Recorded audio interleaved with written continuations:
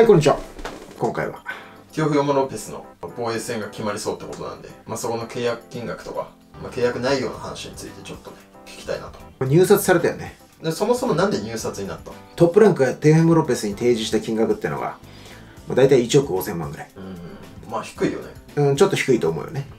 でそれはあのこの間ロマチェンコとやった時のロペスのファイトマネーっていうのが確か1億5000 1.5ミリオンだからまあ1億、まあ、5 6千万だよね。うんでこれも最初は、えー、と2億要求してたんだけどもまあそのロマチェンコがじゃあいいよって言って俺の分のって言ってさちょっとおシェアしてくれたじゃん。ロマチェンコが自分のファイトマネーを削ってそう。試合を成立させたって話でしょ？そうそうそう。だからその時のファイトマネーとまあそんなに変わらないと。なんでだと？てかそれ以下になってんだよね。うん。テオフェム・ロペスからしたらそりゃ4団体統一チャンピオンだぞとあのーしかもロマチェンコに勝った後にでなんでファイトマネーが下がるんだとっていう気持ちにはまあなるよね選手は。バブルって結局まだ続いてんの？バブルはもう終わったと思う。この間のベルチェルと、あのーバルデス。バルデスの試合が最後じゃない？ゲート収入はあるのになんで下がってんだってことにもなるもんね。そのだからこの試合に関しては要するにトップランクからしたらばやっぱり相手の知名度っていうのがあると思うんでそのカンポソスっていう選手。これオーストラリアの選手だっけ？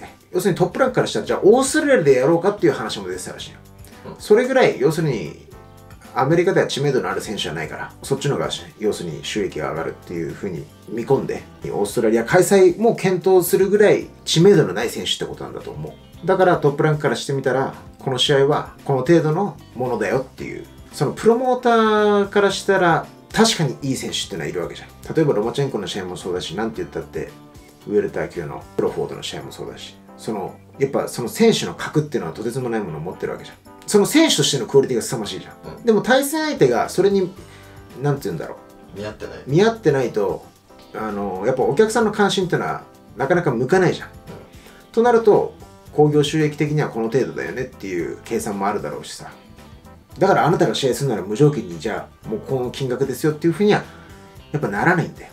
でも選手からしてみれば俺は統一チャンピオンだっていうプライドもあるしそこの折り合いがつかない。と、折り合いがつかなかったんじゃない？まあ、そもそもトップランクって、まあ、ESPN と契約してるわけでしょ。年間えー年間にすると8400万ドル。大体90億ぐらい、まあ90億ぐらいだね。でも本来入札制度っていうのはプロモーター間同士の争いなんだよ。はいはいはい。で例えばでもう有名なのはやっぱ日本で言ったら辰吉丈一郎と薬師寺康生の試合ですよ。はいはい。あの時は要するに大阪名古屋、うん。どっちでやるんだと。ああはいはいはいはいはい。でテレビ局もお互い違うから。あこれはもう譲れないでしょお互い。あ確かにね。大阪対名古屋ですよ。うん。なんか響きがすごい血生臭いんだけど。大阪対名古屋って。気のせいいや。そうね。血の匂いしかしないんだけど。よくない。よくない匂いはする。であの時のあの時は入札で名古屋が勝ったんでああそう。で、えー、と入札額が3億4千万。はでお互いチャンピオンじゃん、まあ、暫定とあれ辰吉さんも暫定のチャンピオンだったのでお互いチャンピオンだからといってこう、えー、と確か5-5だったと思う。だから1億7千万同士ですよ。こうもう破格だと思うよ。日本で。やっぱ一番有名な入札じゃない？あと西岡俊明対ジョニー・ゴンザレス。えあれも入札だったの？あれも入札。入札でメキシコの、あのプエブラプロモーションが入札して結局敵地に行ったわけ。ででも西岡さんってあの時ってアメリカでやってたんじゃないの？それはその後だね。あそう。うん。であの試合が大体45万ドル。はでそのうちの、えー、だから70%ぐらいが西岡さんのファイトマネーじゃないあまあまあ高い。は高いよね。まあ高いでしょう、うん。まあさっきさっきのさっき1億7000万って話してたけどね、まあまあね。でちょっと調べてみたらねまた面白いなって。ガッツ石松さん。へえ。ガッツ石松さんの防衛戦の相手でエスパンエステパン・デヘススっていう選手ってた。これあのロベルト・デュランに勝ってる選手。ロベルト・デュランに初黒星つけた選手なんだけどはその選手がプエルトリコかな。で結局入札になってガッツ石松さんが要するにプエルトリコに行ったわけね、うん。でこれで負けてしまったんだけどこの時のファイトマネーが20万ドルだって。あまあ2000万だけど。今だと2000万だけど当時だと300何円の時代だから。でガッツ石松さんのファイトマネーは大体7000万円だったと。はい。当時の7000万円。は今の7000万円でもすごいよ当時の7000万円はじゃあどういうことかって大卒の初任給が4万とか5万の時代だって。ってことはまあ5倍ぐらいのパワーある。あるよね、うん。だからもう本当に3億とかの今の価値にするとねうん。それぐらいの時代ってことだよね。すごいよね。だからそういう入札の歴史はうんあるんだあったんだって。ただそれはプロモーター同士で争ってるわけではいはいはい 米倉ジムとガッツ石松さんが争ってるわけじゃないと思う多うん分このファイトマネージャーやらんとか。うん。でプロモーター同士の争いが入札になるんだけど今回はその自分たちの内部の問題だよね。うんうんそれで入札になるっていうのは珍しいと思う。うん。で結局これを落札したのがトリラーですよ。この間マイク・タイソン対ロイ・ジョーンズ・ジュニアのねエキシビションマッチを主催したトリラー。あれ音楽かなんかのストリーミングサービスなんだって動画だっけ？ああじゃあもうボクシングのプロモーターじゃないんだね。だからこれで本当に参戦でしょ、うん。でこの間は一応エキシビションじゃん、でも今回このボクシングの興行に参戦してきたと。だからその入札制度ってあの第三者が入ってもいいんだね。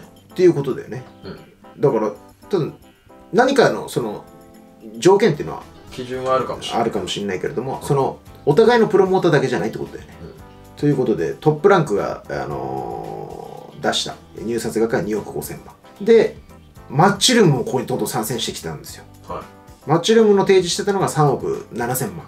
いはい。で、えートリラーが提示してたのが6億4000万、うん。まあ大体ねうん。アバウトな数字だけど。だからこれでティオフィモ・ロペスのファイトマネーっていうのはここから65%がティオフィモ・ロペスなんだって。で、えーそこから20%がトップランクに入ると。うん。プロモーターである。だからトップランクからしたらこの入札にのおかげで何もせずに8000万儲かったと。